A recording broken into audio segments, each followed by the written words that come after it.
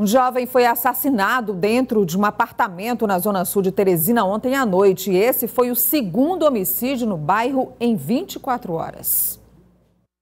O crime foi registrado por volta de três e meia da tarde desta quinta-feira no bairro Morada Nova, zona sul de Teresina.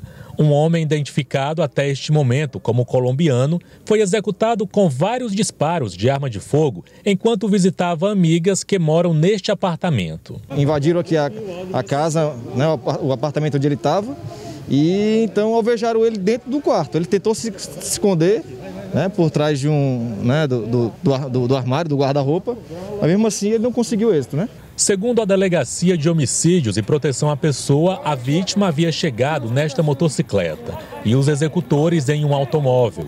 O trabalho da perícia seguiu por toda a tarde até o início da noite.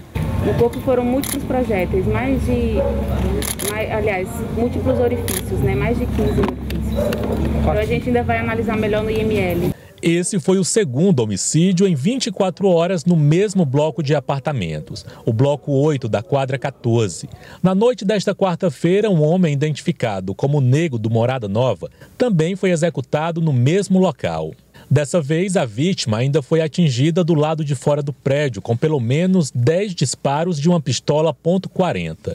Nego do Morada Nova era suspeito de ter matado um homem na região do Promorá, também na Zona Sul. O DHPP segue investigando o caso e tem como uma das linhas de investigação acerto de contas entre facções criminosas.